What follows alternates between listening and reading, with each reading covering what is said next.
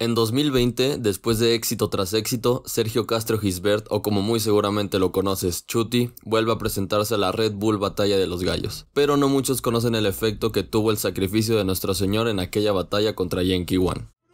¿Cuánto tiempo has estado aquí? Ups, solo un minuto. ¡Qué campeón! Pero para entender las verdaderas consecuencias de este sacrificio debemos retroceder en el tiempo. Así es como se veía la puesta en escena hace un par de años. No es que no existiera, incluso ya era puntuada en el formato de FMS, pero era muy poco mencionada y cuando se hacía algo teatralmente fuera de lo común, o se explotaba el público o se hacía un ligero ridículo. Siempre hubo quien la dominaba más que otro, alterando el metajuego escondido en el freestyle, la batalla psicológica.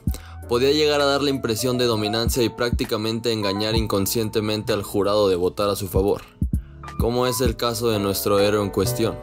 Pero todo eso cambiaría cuando, después de uno de los veredictos más polémicos de las internacionales, uno de los jurados declaró lo siguiente. Ok, yo voté, yo voté en contra de Chuti por Yankee por una razón. Eh, para mí Yankee fue alguien que se plantó y los demás, los demás complementos que usó, como, o sea, como te digo, delivery, presencia en el escenario y la actitud que mostró, creo que superó un poco el contenido y por eso. Puede que no estés muy convencido de lo que te estamos diciendo, pero el cambio de todo el panorama del 2017 a 2018 en adelante es claro y es abrumador. Hasta nuestro querido personaje presentó una evolución de su puesta en el escenario. Esto dio lugar a que no solo los competidores que dominaban la puesta en escena se destacaran aún más de lo que ya lo hacían, sino que surgieron verdaderos maestros de la interpretación y el muy mencionado delivery. Niño, corre. ¡Ah! Mira, hardcore, más o menos no te gustó, ahí te va otra mejor. Decías que Neymar te comparabas con el jugador porque apenas te toco y ya te retuerces de dolor. De ahí en adelante, lo único que la interpretación escénica haría es crecer, crecer y crecer.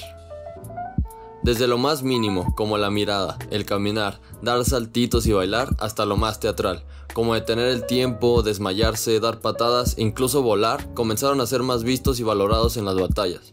A tal punto de que en casos especiales, un competidor con ingenio de élite, rapeo fuera de lo convencional o estructuras muy destacadas puede llegar a descender de la FMS por no lograr venderle ni al jurado ni al público sus ideas. Y bueno, quizá el detonante no fue esa batalla ni esa declaración, pero lo que es seguro es que en 2017 es el punto de inflexión de la interpretación en las batallas de rap, lo que nos trae a la final internacional de Red Bull Batalla de los Gallos 2019. Así es como se ven los participantes de dicha competencia. Es clara la diferencia a 2017, antes del sacrificio del Señor nuestro Salvador. Y en la final no se encuentra nada más ni nada menos que dos de los representantes más grandes de la interpretación en escena. El minimalismo, el hombre irónicamente denominado sin expresiones, Iceman, el señor Javier Ibarra, aka Bennett, contra uno de los mejores showman de nuestra época, Camilo Ballesteros, alias Ballesté. Si hay algo en lo que cualquier hilo de Twitter estará de acuerdo, es que en el personaje de Bennett, intencionalmente o no, es uno de los mejor cuidados, constantes y efectivos de la actualidad. Aparte de rapear de manera excelente y tener un innovador ingenio, batallar contra Bennett es batallar contra alguien que aparenta no dar la mínima importancia de quién seas ni lo que estás diciendo como él mismo ha declarado. Te escucho rapear y ni lo entiendo. ¿Cómo puedes enfrentarte contra algo así, además con tu manera de rapear? Pues es que realmente lo bueno para mí de, de, lo que yo hago es que realmente me da igual el rival y voy a hacer lo que me gusta hacer y, y como salga. Entonces al final voy a, a, lo que haya allí, hermano, lo que me esté esperando allí. No, no me lo planteo ni nada, voy a hacer lo mío y ya está. Bueno, eh es batallar contra alguien que no importa si se encuentra en la plaza, en una regional o en la final de la competencia de freestyle más importante del mundo. No da la más mínima señal de estar nervioso, ni preocupado, ni acelerado. Y cuando decide por cualquier razón mostrar una pizca más de energía de lo normal, es capaz de volver loca a toda una sala entera. Díselo, escrite menor, metiendo en el beat, no lo saben, ya estoy yo. La diferencia entre los dos yo te la explico, cabrón. Te respetan los del TikTok, a mí los del hip hop. Ahora dile la verdad, estilo, estilo. Ballesté por su lado ha demostrado ser un verdadero pionero de la batalla psicológica y del delivery, mostrando una gran evolución en los últimos años y colocándose en la élite mundial. Acompañado de su flow impredecible, su casi incomparable actuación es lo que lo ha llevado a ser uno de los más fuertes de la élite, siempre llevándolo un paso más allá de lo que se había visto. Así es como por sus característicos dotes, nuestros héroes no por coincidencia llegaron a ser los últimos finalistas de la internacional, siendo esta misma una verdadera exposición de la dualidad y contraste que sus dos interpretaciones nos traen para nuestro deleite. Con flow, ingenio, sin duda nos dejan con ganas de ver qué nos depara este 2020, donde es muy posible que no haya una tribuna en el evento. Es de bromas en este caso. Si estoy rapeando como el bromas, pues es en contra de un payaso. Sí, por supuesto que soy un payaso, porque yo voy con la cara pana, nunca me disfrazo. Ay, que nunca se dispara en el lirio. Si estás sonriente, pues what's up serious.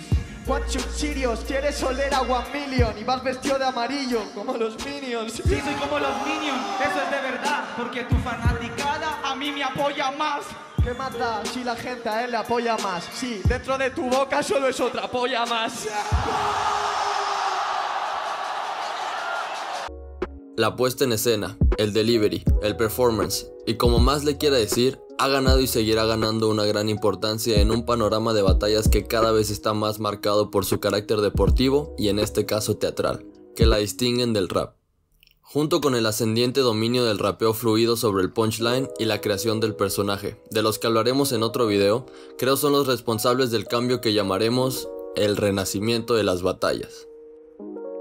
En definitiva, esto solo es una muestra de cómo incluso desde las sombras, Sergio siempre busca lo mejor para el mundo del freestyle, habiéndose sacrificado para bendecirnos con el don del performance. Nosotros seguiremos esparciendo la palabra del Señor mientras esperamos su llegada en la final nacional de Red Bull Batalla de los Gallos. Chuti vuelve a Red Bull Batalla de los Gallos. Creo que este es... Aquí unas menciones especiales de la puesta en escena. ¿La entendieron, pano? ¿Qué pasó? Tengo la poesía, mi hermano rapeando, yo digo let's go. En serio, papito, yo tengo mi flow, tengo el doble de H y la gente grita. ¡Oh!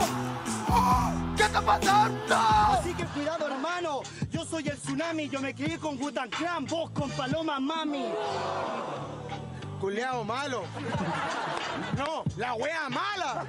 La wea mala. No es paloma mami. Tu mami, el palo me mama. Yo presiento que este rapero me engaña. Eras una hormiga, niga, ey. Se quedó sentado el pana. La hormiga se cayó en la tela de la araña. Esto es como bordeando los eventos. Y esto es como haciendo doble tempo. Para arriba mis sendas internas se suelta la selva del show. Una vez que entras, una vez que puedes hacerlo, se va a cortar todo tu cuello. Ellos lo vieron, lo comprobaron. Yo entré dentro de ese plano. Vi que todo eso no era en vano, que había mucho más valor acá que en el mercado. Solamente fui para donde quise ir, sí, sí, sí. No quieres ver mi habilidad sutil. Por eso de a poco me convierto en MVP, en mi king me convierto. Solo lo hago más perfecto. Amplifico todo mi talento. Tengo el artefacto del diablo en el infierno. Tengo mi alma colgando del cemento. Ah, ah, sentilo es muy interno. Mucho laberinto difuscado por las imágenes que llegaron que ya no recuerdo.